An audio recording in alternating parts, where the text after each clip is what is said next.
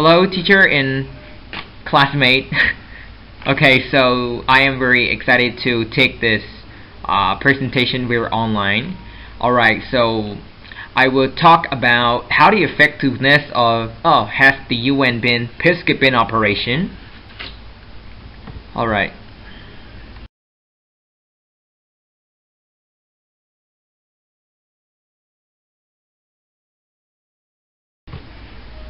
And I come from the first group who chose the first topic.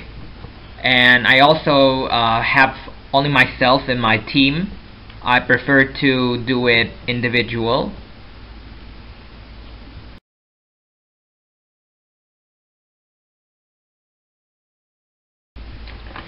Well let's see the content of the topic. I've got three content today. The first one is about the introduction to the topic. The second one is about the successful accomplishment of the UN peacekeeping. And the third one is that the failure and the partial result of the UN peacekeeping.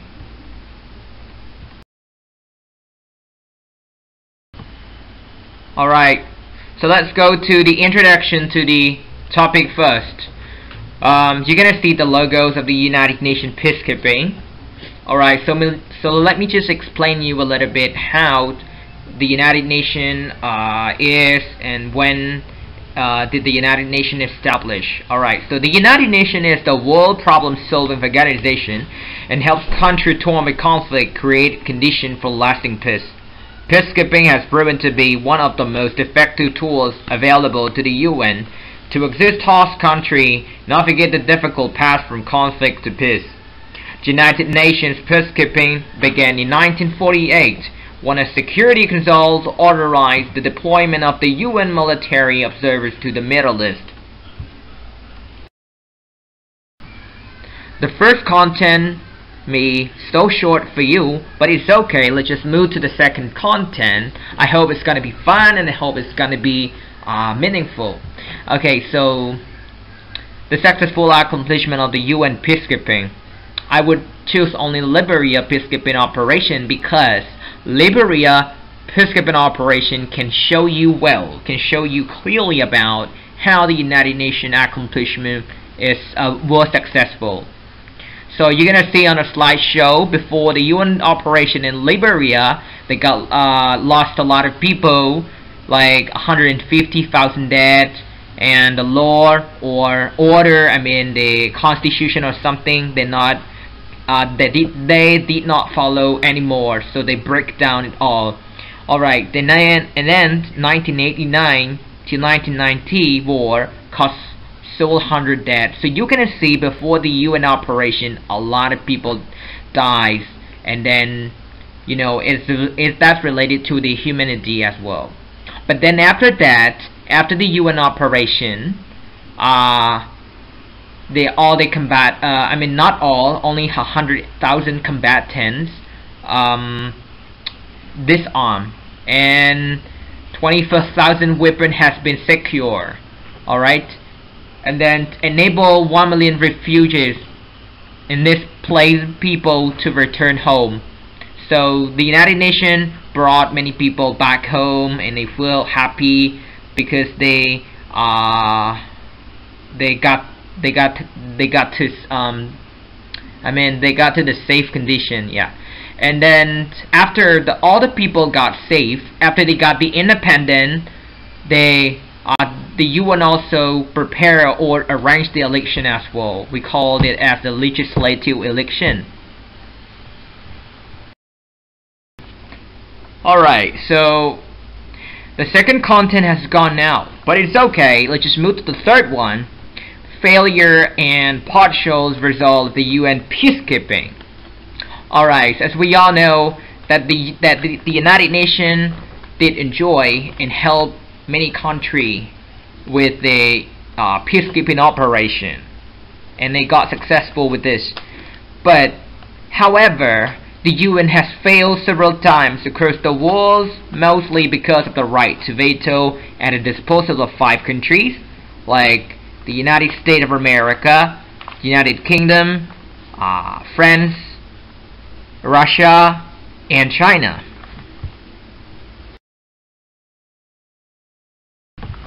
Well, so um, look at a slide altogether. The first example of the failure of the UN peacekeeping operation that applied on Israel occupation, that the Israel invade on Palestine uh, territory, uh, in 19 uh, till uh, since 1948 till now, that the that the United Nations cannot solve this problem. All right, because of who? Because of what? Let's see. Alright, so ever since the creation of the Jewish state in 1948, Palestinians have been fighting against what a UN investigator once described as Israel ethnic cleansing. Alright, so you're gonna see a picture. This is the Palestinian uh, loss of land in 1946 until present now because of Israel invade. And then the UN seems like uh, kind of really difficult to to what? To going to solve in this situation in this condition. Yeah. Because of who? Let's see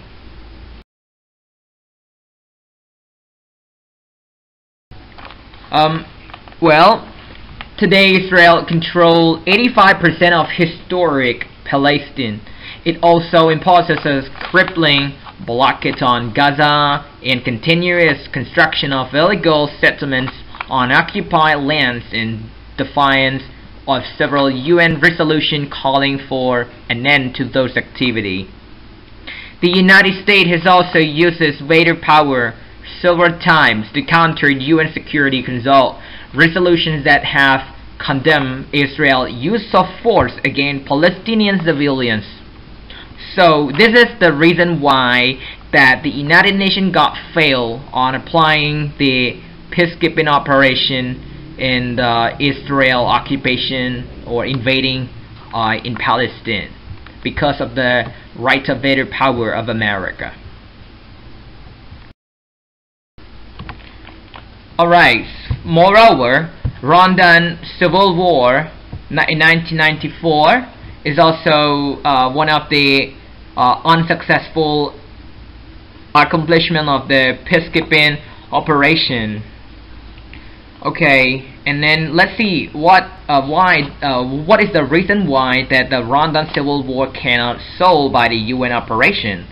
Alright so let's see the history history first um, Rwandan civil war in 1994 is one of the worst ethnic genocides since World War II the civil war between the Rwandan armed forces and rebel Rwandan Patriotic Front we're gonna call it as RPF began in 1990 and lasted until 1994. Alright. And UNAMIR Chapter 6 mandate render it powerless to intervene militarily and most of the Rwandan staff were killed in the early days of the genocide, severely limiting its ability to operate. UNAMIR was therefore largely reduced to a bystander role and diet layer later level is a, as a failure. So this point means that the United Nations is very hard to cover to control the genocide, to control about the human rights in Rwandan civil war because the Rwandan civil war made a lot of people die like that point I also mentioned here is Rwandan staff were killed in the early day of the genocide so here, that point is, uh, so that point was the unsuccessful um, mission of the UN peacekeeping. That's why we call, uh, oh, that's why we um, call the Rwandan Civil War as the uh, unsuccessful accomplishment of the UN operation.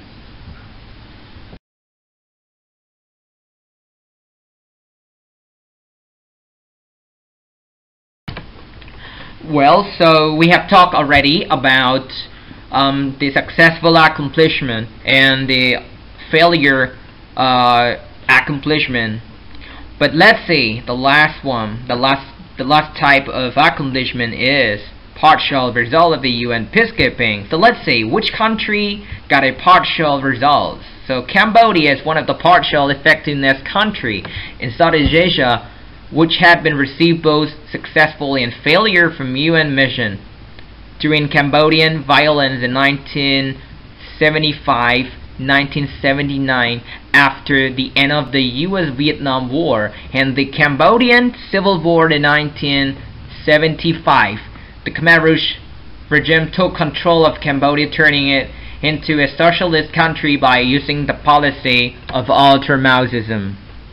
Alright, so here are some of the historical uh, information about the Mao, uh, the, about the Pol Pot regime, about the Pol Pot times that Cambodia lost control, Cambodia fall down into the uh, dark area or something, yeah. Well, but the point is about the partial is that mean um, the UN peacekeeping also cannot apply the successful uh, goal, successful accomplishment uh, in Cambodia, and also uh, did well and find I mean, did something successful in Cambodia. So partial here means like this. Well, let's see. The red point on the slide, the red box here, the United Nations recognized the Khmer Rouge regime while ignoring concern of human rights violation. So, I would I would say that um, the United Nations also recognized the Khmer Rouge regime, but um, why? Why did they um, United Nations cannot solve this problem and ignore the constant of human rights violations. So here, that's the point that the United Nations cannot apply the successful um, accomplishment in Cambodia. But fortunately, United Nations also got um, uh, to arrange the national election in Cambodia in 1993. You can see the blue box. Alright, so here is the successful point, the good point that the uh, UN peacekeeping also applied, also help us, yeah, with this.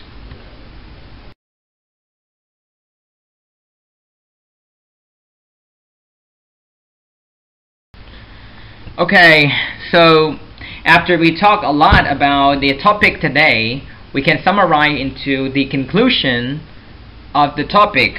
I would say that the UN peacekeeping operation has been effective and ineffective and partially applied in all problematic states. According to my research, I would suggest that the UN please should be revamped of veto power in order to be easy in determination on mission. So they would think again about this, about this point. They should revamp, they should reform again about the veto power. Because if one country, if one country or one member um, refuse with uh, something or I mean some of the plan uh, do something so that plan or that mission will not applied will not launch will not happen will not occur. Yeah.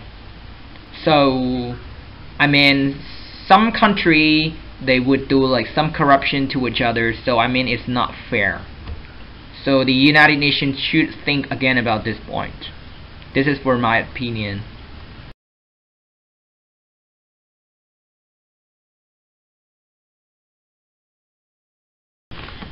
Okay, so um, this is the end of our slide. So thanks for watching, and I hope you will understand my slide clearly, and I hope you will um, understand a lot about what I had explained, and I hope you're gonna have some question to me, and I will free for um, you to ask.